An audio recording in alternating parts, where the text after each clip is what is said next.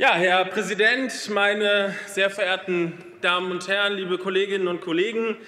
Es ist ja nun schon einiges gesagt worden von meinen beiden Vorrednern, dem stimme ich, mich natürlich, äh, dem stimme ich natürlich vollumfänglich zu. Und ich werde versuchen, in meiner Rede äh, diese einzelnen Punkte nicht noch mal zusätzlich zu erwähnen. Wir haben heute eine längst überfällige Debatte hier im Plenum unseres Landtags. Wir reden über das Wahlalter. Einige äh, Bemerkungen dazu erstmal vorab. Wir brauchen, damit eben auch eine Herabsenkung des Wahlalters wirklich sinnvoll greifen kann, wir brauchen mehr politische Bildung. Wir müssen, das wären Konsequenzen dessen, wir müssen Lehrpläne anpassen, wir brauchen mehr Mitbestimmung an Schulen, wir brauchen den Ausbau, Partizipation in allen Lebenslagen von jungen Menschen, wir brauchen auch die altersgerechte Aufbereitung von Informationen. Wir, gerade hier im Landtag, gerade auch die Fraktionen CDU und FDP, fordern immer mehr von jungen Menschen. Wir schicken Minderjährige in die Berufsausbildung, wir schicken heutzutage sogar schon Minderjährige ins Studium. Durch die G8-Debatte ist das Ganze noch mal deutlich verschärft worden. Im Bundestag wird heute zum Beispiel über Minderjährige in der Bundeswehr gesprochen.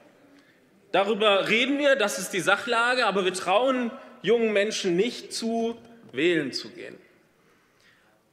Ein kleiner, ein kleiner Fakt am Rande. Wir reden zwar über die Herabsenkung des Wahlalters faktisch auf 16 Jahre. Im Durchschnitt allerdings ist so ein Erstwähler 20,5 Jahre alt, wenn er das erste Mal an die Wahlurne tritt. Das ist Stand heute. Wenn wir um zwei Jahre runtergehen, ist so ein durchschnittlicher Erstwähler 18,5 Jahre, also sogar immer noch volljährig, liebe Kolleginnen von CDU und FDP, da gibt es wirklich gar nichts, wovor man Angst haben muss. Es gibt zig Gründe für die Absenkung. Allein wenn ich nur die positiven Gründe hier erwähne, dann sind die fünf Minuten schon durch. Ich will mich auf zwei, drei, vier ähm, noch mal konzentrieren. Stärkung der parlamentarischen Demokratie ist tatsächlich einer der Punkte. Wir haben eine echte Mitbestimmung für Jugendliche und nicht nur eine modellhafte Mitbestimmung.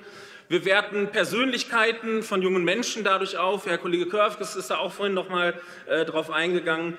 Auch ganz wichtig, wir greifen die Belange von Jugend, Jugendlichen, von jungen Menschen in unseren Parteien auf. Denn wir haben diese Zielgruppe dann plötzlich als potenzielle Wähler und verankern dort Punkte in den Wahlprogrammen.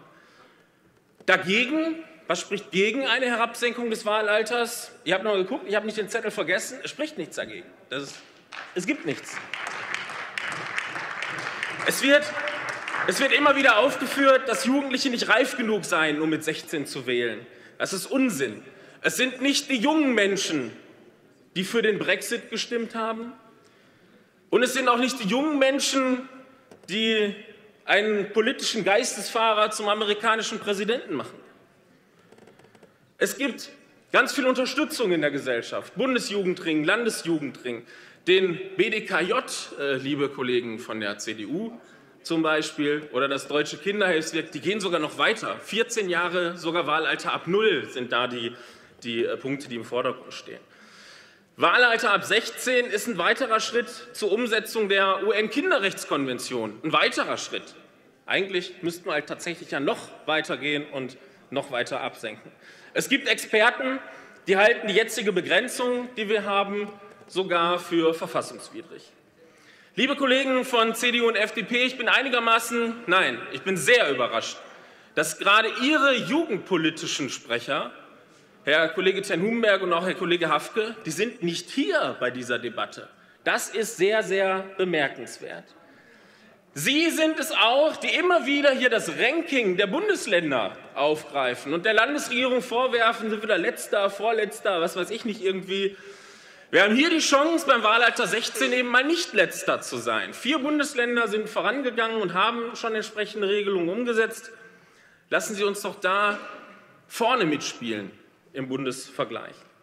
Kollege Hafke bezeichnet die FDP hier immer als die Partei der Jugendbeteiligung. Wir werden heute Mittag so eine gemeinsame Vereinbarung unterzeichnen. Ich lache und zwar hart. Herr Kollege Lindner ist leider auch nicht im Saal. Warum auch? Was ist denn aus dieser Nummer German Mood geworden? Ist doch German Angst letzten Endes beim Wahlalter?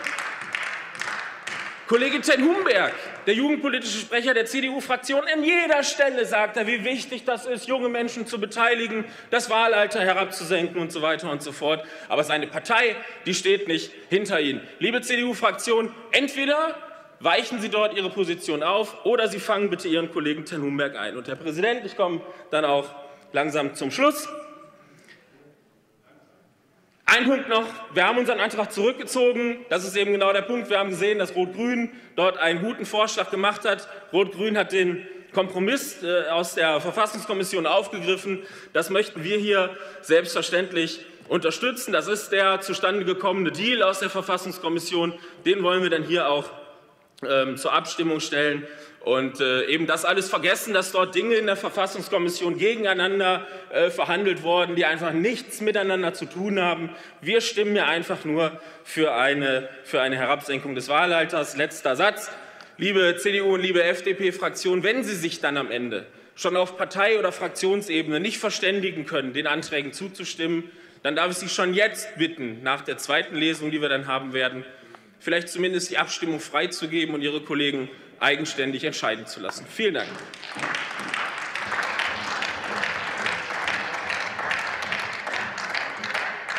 Vielen Dank, Herr Düngel.